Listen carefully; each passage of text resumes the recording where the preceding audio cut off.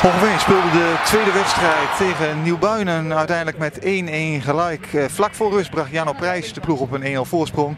Maar in de tweede helft was het eh, invaller Thijs Hatenboer die de 1-1 op het bord bracht. Ja, Rick de La, gezien het spel in de tweede helft was het misschien ook wel verdiend. Ja, ik denk als je in de tweede helft kijkt, dat, uh, ja, dan creëren we niet echt veel kansen meer. Je geeft ook niet echt veel weg, maar uh, ja, over de hele wedstrijd gezien dat we misschien ietsje sterker waren. Maar dat uh, dit niet heel erg onverdiend is. Kijken we even naar het begin. dan heb je het in het begin even moeilijk. Niet qua veldspel, maar wel qua mogelijkheden die Nieuwbuinen krijgt. Drie nou, redelijke mogelijkheden op rij in de beginfase. Ja, je geeft toch in het begin uh, drie kleine kansjes weg. En uh, daarna zie je wel dat wij uh, het spel maken. Maar ja, het is echt hele dikke kansen hebben we niet gecreëerd. Nee, met name het spel over de flanken, de snelle combinaties, dat zat er eigenlijk geen moment in. Nee, het was af en toe een beetje stroef. Hè. Dan, dan kwamen we goed erdoor en dan, dan haalden we het tempo er weer uit. En dan, dan zie je dat uh, Nieuwbuinen weer terug kan komen in positie. En dan, dan is het moeilijk om er doorheen te komen. Ja, en achterin blijft het altijd op, oppassen geblazen natuurlijk, met een hatenboer daarvoor in. Ja, ze hebben natuurlijk een paar, uh, die hatenboeren zijn uh, een kopsterke, uh, of sterke spits en met een beetje snelheid eromheen. Dus dat is altijd uitkijken. Nou goed, daar valt het doelpunt voor jullie op een mooi moment natuurlijk, zo vlak voor rust. goede actie van Jan op prijs. Ja, dat doet hij heel knap. hij werd nog aangeraakt geloof ik en over de keeper heen. En, ja, natuurlijk, dat is een perfect moment. dan kom je op 1-0. En dan denk je ook wel van, dit, dit zit wel goed. Ja, dan ga je de tweede helft in en dan starten jullie lekker. Uh, zetten gelijk druk en krijgen dan een, uh, nou, een doelpunt wat afgekeurd wordt van Marco Hartman. Ja, dat is dan jammer dat zo'n bal er niet in gaat. Want dan, dan win je hier zeker. Uh, maar ik, ik, ik, heb het, kon het zelf niet goed beoordelen. Dus, uiteindelijk daarna ja, gaat het minder. neemt in Nieuwbuinen echt het initiatief over. Ja, nou, die ruiken natuurlijk ook nog een kans. En dan, dan weet je dat ze altijd uh, wat extra druk gaan zetten. Dan gaan we meer mannetjes mee naar voren. En dan, uh, dat is in het verleden wel gebleken dat wij het dan altijd nog moeilijk krijgen.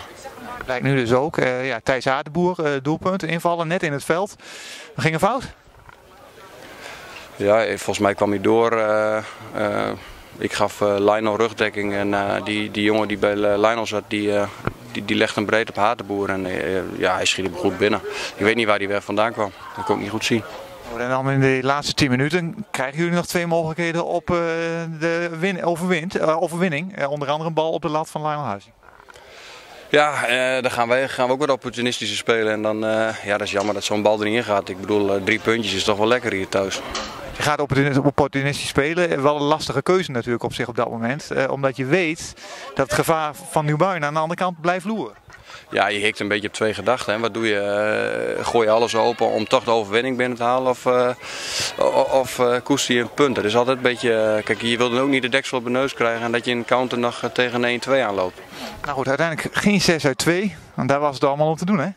Ja, dat was wel heel mooi geweest. Dat was wel de doelstelling. Maar ach, ik bedoel ja, nieuwbouw. En uh, je weet dat het altijd uh, een, een, lastige uh, ploeg is om tegen te spelen. En, ja. Dus kortom, met 4 ben je wel tevreden? Ja, je moet niet te snel tevreden zijn, hè, maar ja, ja, ik kan er wel mee leven. Nou, volgende week weer een lastige wedstrijd, Emmen. Vandaag wel weer gewonnen, vorige week verloren. Ja, wij hebben vorige week ook al gezegd, het is een lastige reeks. Ja, de eerste vier, uh, volgende week Emmen dan uit naar uh, eh, WVV. En dat zijn, uh, dat zijn zware wedstrijden. Ik denk dat Emmen een van de titelkandidaten is. Ja. Nou goed, en het spel van jullie, ja, nog genoeg te verbeteren. Maar ook weer niet zo dat het gewoon echt allemaal tegen zit. Nee, ik denk dat wij best wel goed voetbal laten zien. We voetballen goed over de flanken. het is fris, met, met ervaring erbij. Dus ik denk dat dat wel goed zit. En, en nog wat jongens die terug moeten komen. Ja, je, je hebt Shaki er nog niet bij. je, je hebt Jury er niet bij.